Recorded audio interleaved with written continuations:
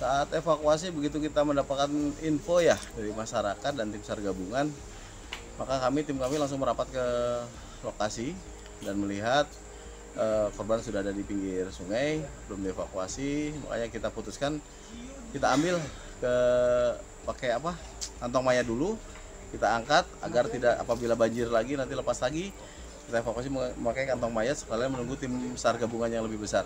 Akhirnya kita evakuasi ke pinggir sungai Alhamdulillah sudah sampai di pinggir sungai tim SAR gabungan yang lain sudah merapat ini ya kita gotong bareng-bareng serah terima ke keluarga dulu memastikan bahwa eh, korban adalah putra beliau setelah dilihat A1 disaksikan oleh dari Basarnas terutama dan polisi serta Delta tim Delta dan tim SAR gabungan bahwa itu A1 keluarga baru kita tutup di kantong mayat kita serah terimakan ke keluarga korban naik ke ambulans selanjutnya digeser menuju ke rumah duka langsung. Oke.